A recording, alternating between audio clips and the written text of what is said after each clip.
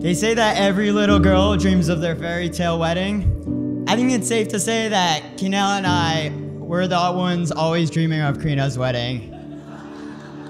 Because while Krina is as beautiful and magical as any princess can be, she has been winning at all her life goals since the day she was born, and she never needed a big wedding and a castle to validate that. Shyam is one of the most genuine people you will ever meet. He's truly got the biggest heart, and he's been the best big bro I could ever ask for. He's been a great role model for me throughout my life, and he's someone who's really reliable, someone you can count on, and I know he will continue to be all those things for you as well, Krina.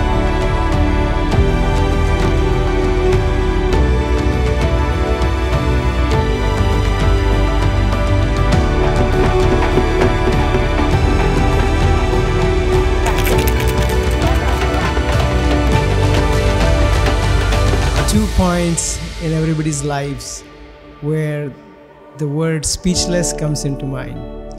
So, the first speechless word is associated with the time that I got married about 36 years ago.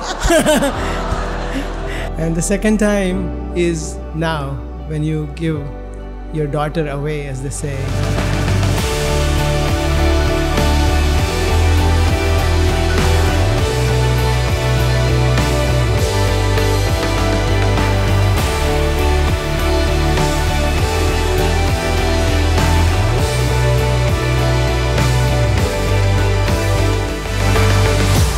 Thing about Krina is, she was already an amazing woman before you met her, but you complete her and make her the incredible person that I am so happy to have seen you marry today.